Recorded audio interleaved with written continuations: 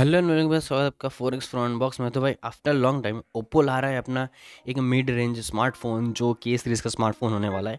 और ये स्मार्टफ़ोन का नाम है ओप्पो के टेन जो के नाइन का सक्सेसर होने वाला है। तो आज मैं बताऊँगा इस स्मार्टफ़ोन के लिंक्स तो उससे पहले बता दूँ आप चैनल पर नए हो तो चैनल सब्सक्राइब ज़रूर कर लेना, क्योंकि ऐसे ही वीडियो आपको इस चैनल पर देखने मिलेंगे। तो ये smartphone recently three C certification पे सर्टिफाइड हो चुका है।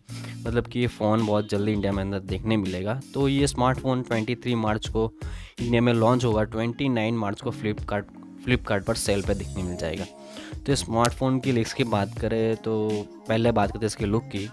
जो बैक साइड में जैसे कि आप देख सकते हो कि ट्रिपल कैमरा सेटअप है, जो main camera fifty mega pixel का टू मेगा पिक्सल का micro camera two megapixel depth camera और साइड में देखें तो ओप्पो के टेन का।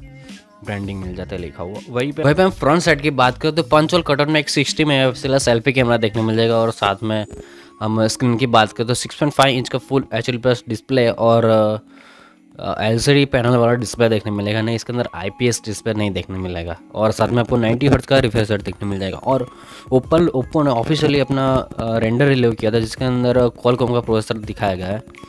जो स्नैपड्रैगन सिक्स हंड्रेड एटी एसोसेट का एक फोर जी प्रोसेसर होने वाला है, नहीं कि फाइव जी ये फोर जी फ़ोन होने वाला है।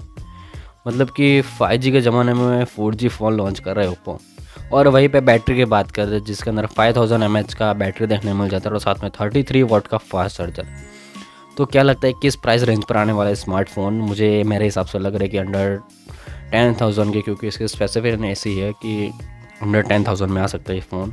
लेट्स सी आने के बाद सब कुछ बताएँगे रिव्यू भी करेंगे तो चैनल ज़रूर सब्सक्राइब कर लेना, क्योंकि ऐसा ही वीडियो देखने मिलेगा।